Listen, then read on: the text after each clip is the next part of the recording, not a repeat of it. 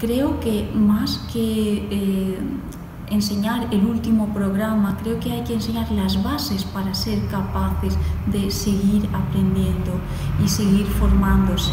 Eh, desde mi punto de vista, esa es la gran clave y sobre todo eh, fomentar la, curiosidad, fomentar la, necesidad de, estar preparándose continuamente y de mejorar. Creo que también una parte que cada vez me parece más importante es la, cuestión ética, eh, ser ideontológica en, el trabajo periodístico, porque eh, muchas veces está sometido a muchas presiones desde un punto de vista económico, desde un punto de vista de, ser el primero en publicar algo que eh, hace que se pierda esta mirada que es fundamental si queremos hacer un periodismo de calidad. Las herramientas que tienen que conocer los estudiantes de, periodismo en primer lugar son la actualidad, eh, es decir, los estudiantes tienen que ser conscientes de que eh, ellos trabajan sobre hechos que ocurren, sobre una actualidad que está en, continuo movimiento y en continuo cambio. Por ejemplo, si un periodista, un recién egresado eh, de periodismo, llega a una redacción a hacer prácticas y le encargan un tema, tiene que saber de qué le están hablando. No puede saber, no puede ponerse a preguntar si no ha leído, si no ha seguido la actualidad, pues no podrá hacerlo en las condiciones necesarias. Tenemos eh, el lenguaje.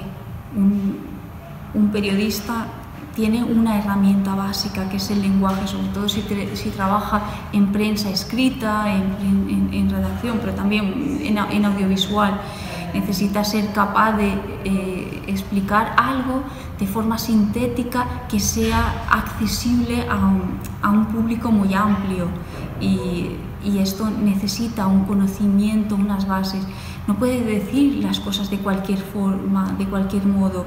Eh, está también la, parte ética, tiene que ser consciente de la responsabilidad de aquello de lo que informa, sea un tema político, sea un tema social. Eh, desde cualquier punto de vista. Eh, además tiene que hacerlo con una profundidad, con una contextualización. Es decir, eh, el buen periodista tiene que ser un profesional muy completo desde este punto de vista y cada vez más desde el tecnológico.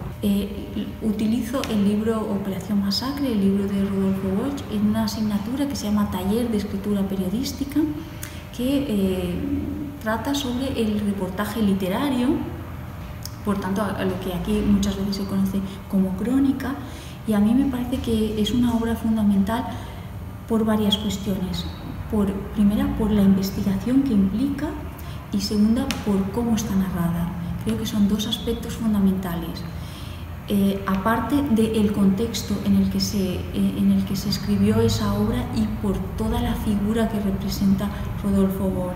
Eh, cuando muchas veces se desvirtualiza mucho y se hacen reconstrucciones sobre la realidad, pues el, el poder hacerlo así y usar esas herramientas de, que combinan periodismo, hechos reales, investigación, con una narración literaria, una, con, la narración de los hechos más allá de, la noticia, me parece que es fundamental.